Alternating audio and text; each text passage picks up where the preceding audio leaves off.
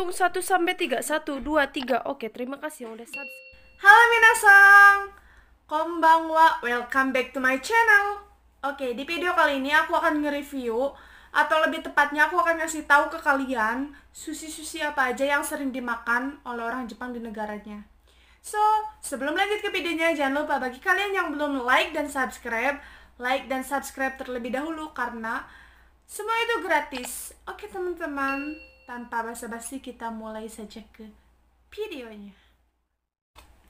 Nah teman-teman, tadi siang itu aku udah beli sushi, cuman aku beli sushinya itu cuman uh, sekitar satu box kayak gini, nggak terlalu besar. Dan sebenarnya ada sushi yang lebih besar lagi, tapi aku belinya segini aja takut nggak habis. Dan di sini tuh harganya sekitar rupiah kuyong jugo engdes. Kalau misalkan kerupiahin ya sekitar 70 80 atau ya sekitar 100 ribuan lah sekitar segituan ya teman-teman. Dan di sini tuh ada berbagai macam sushi atau ikan-ikan mentah. Tapi sebelum aku makan atau aku ngasih tahu ke kalian sushi-sushi apa aja yang ada di dalamnya, aku akan ngasih tahu sedikit ya sedikit ilmu kali ya. Perbedaan sushi dan sashimi. Banyak banget yang bilang kalau sashimi itu sushi juga. Tapi sebenarnya salah teman-teman. Kalau sushi itu dia itu di bawahnya itu ada nasinya. Dan di atasnya itu ada ikan mentah. Tapi sushi itu tidak terpatok oleh ikan mentah saja teman-teman. Tapi ada uh, nasu atau terong atau uh, ya berbagai macam sayuran. Tapi di bawahnya itu ada sushi eh ada sushi ada nasinya. Nah jadi kalau misalkan sushi itu dia itu di bawahnya itu ada nasi dan sushi itu tidak terpatok hanya untuk seafood atau hanya untuk daging-daging mentah. Tapi sushi juga bisa dari sayuran atau dari Eh, ikan-ikan uh, yang sudah dibakar terus disimpan di atasnya uh, kemudian di bawahnya ada nasi. Nah itu termasuknya sushi. Dan kalau sashimi sashimi itu adalah ikan mentah yang emang benar-benar mentah gitu. Jadi kebiasaan sih kalau misalkan sashimi itu dia itu khusus untuk seafood kalau enggak uh, sama niku. Jadi seafood sama niku. Jadi dia itu cuma nama doang. Nama itu kalau bahasa Indonesia itu dia itu cuman uh, apa ya mentahnya gitu loh. Makannya itu mentahnya dia itu. Itu baru dinamakan sashimi bukan sushi. Ingat sushi sama sashimi itu berbeda ya teman-teman. Jadi kalau sushi itu di bawahnya ada nasi sedangkan sashimi dia itu hanya ikannya saja. Ikan yang mentahnya saja. Oke teman-teman sekarang kita buka aja. Teman aku pundurin kameranya sedikit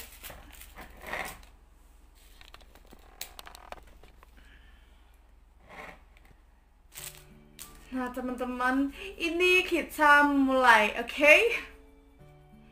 Di sini ada ikan maguro. Maguro itu kalau bahasa Indonesianya itu dia itu adalah ikan tuna. Dan nggak tahu sih rasanya kayak gimana. Kita cobain aja ini maguro atau ikan tuna. Bismillahirrahmanirrahim.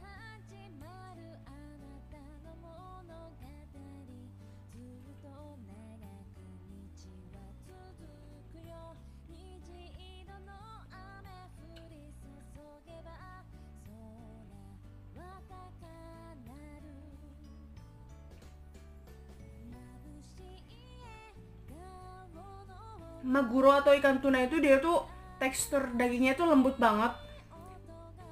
Kemudian mudah digiling ya mudah dikunyah gitu. Jadi dia tuh teksturnya lembut banget. Kan kita sushi yang kedua. Ini adalah sushi uh, apa ya ika. Atau uh, kalau bahasa Indonesia nya tuh dia tuh cumi. Ini adalah ika. Ini mentah ya teman-teman. Ini mentah semuanya. Kita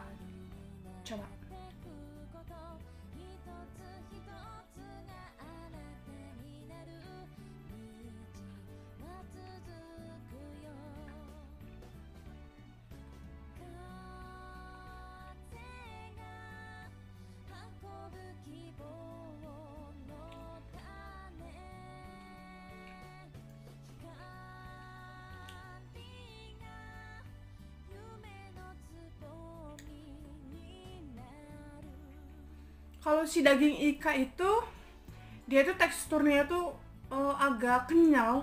Beda sama dengan si maguro tadi atau ikan tuna tadi. Kalau ika ini dagingnya itu dia itu susah banget untuk dikunyah atau untuk digiling. Jadi kalian tuh harus benar-benar gigit atau benar-benar ngunyahnya itu benar-benar harus benar-benar uh, pakai tenaga gitu ya. Tapi rasanya ya masih ada daijo pedes jadi mas di eh madi jadi rasanya masih oke okay untuk di lidah Indonesia menurut aku. Ketiga ini adalah ikan salmon. Salmon. Kalian tahu kan ikan salmon kayak gimana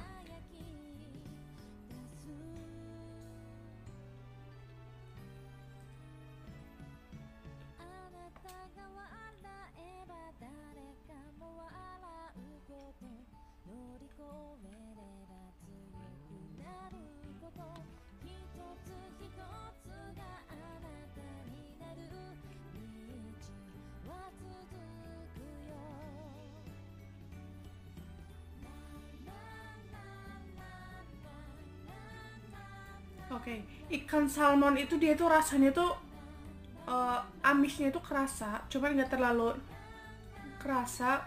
Cuman dia kalau misalkan nggak terlalu uh, dikunyah, si amisnya itu dia tuh bakal apa ya?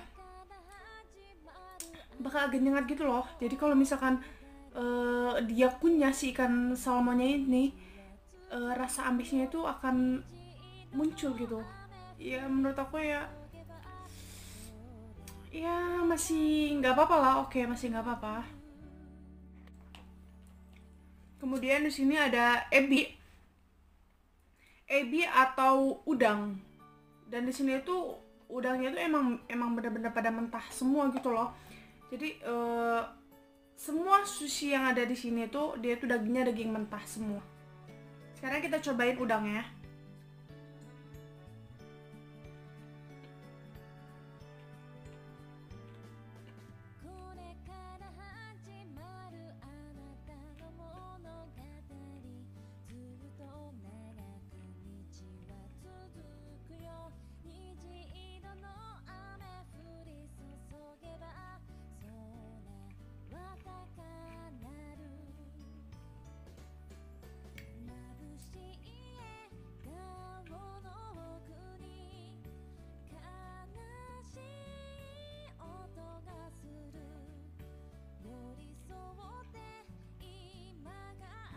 ini ebi tuh rasanya enak banget. Enak banget kayak maguro tadi. Oh, atau ikan tuna tadi. Ebi itu adalah udang. Ini tuh rasanya tuh benar-benar enak banget. Jadi sampai saat ini yang emang benar-benar juara di lidah aku itu adalah ebi sama ikan tunanya. Ebi itu udang ya teman-teman. Kemudian aku di sini kita mulai ke aduh. Ini tako takonya kecil banget ya. Aduh duh jatuh ya. Ya apa-apa ini taco. Taco sama uh, nori atau rumput laut. Taco itu adalah gurita. Kalau bahasa Indonesia nya dia tuh gurita teman-teman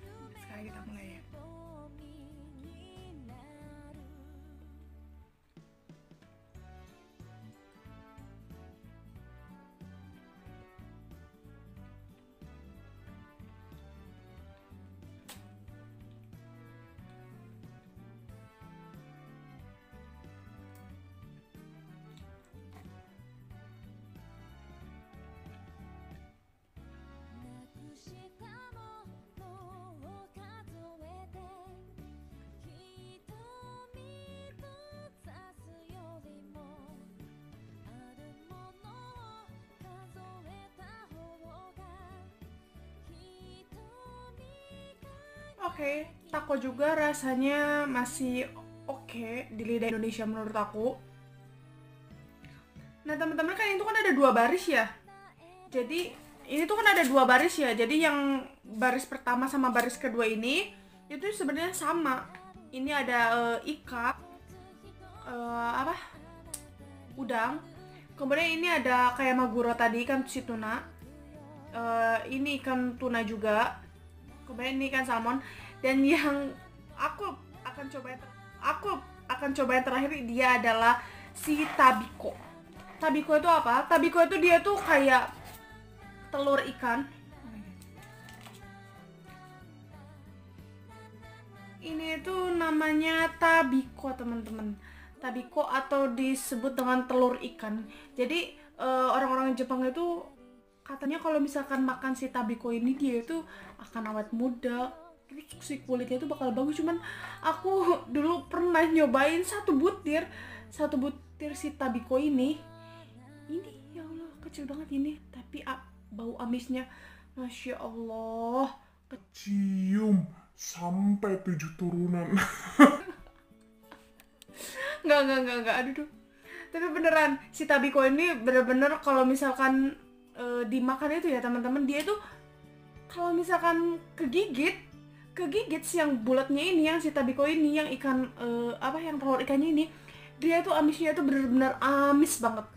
Waktu itu aku pernah nyobain satu cuman oke demi kalian aku akan cobain si tabiko ini segini. Dan ini yang eh, item-itemnya itu dia itu adalah rumput laut. Oke teman-teman kita nyobain. Tapi sebelum aku nyobain Aku harus buka dulu eh, minuman. Kalau misalkan aku terjadi kenapa-napa. Dan aku harus sediain tisu. Oke teman-teman kita mulai makan si tabiko ini. Atau ya bisa dibilang ini adalah apa telur ikan. Kita mau tapi kayak Ah, oke. Mulai. Ada ada ada saya udah pernah nyobain ini satu butir. Dan rasanya tuh amis banget. Mulai ya. Aku makan ini.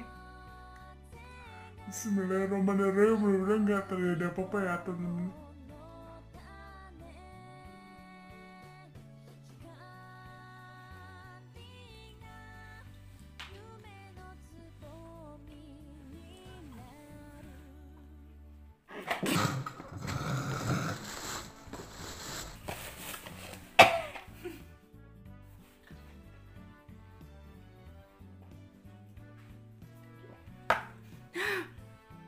teman-teman ternyata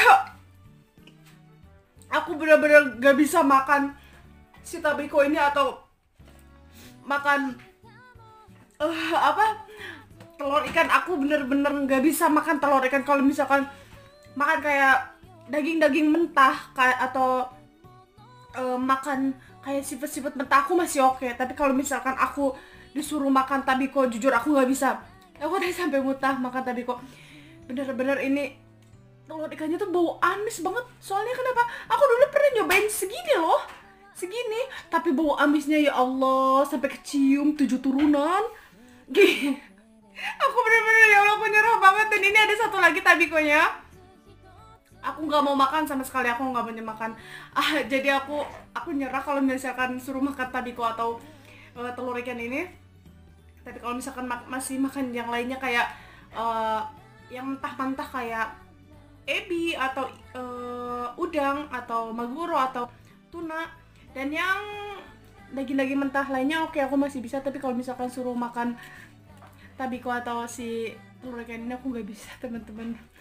Ya Allah.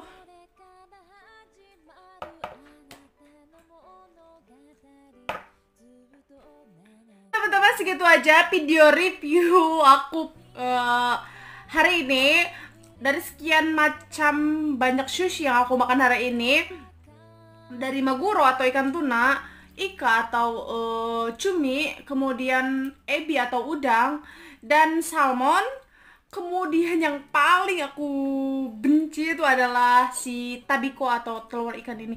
Aku benar-benar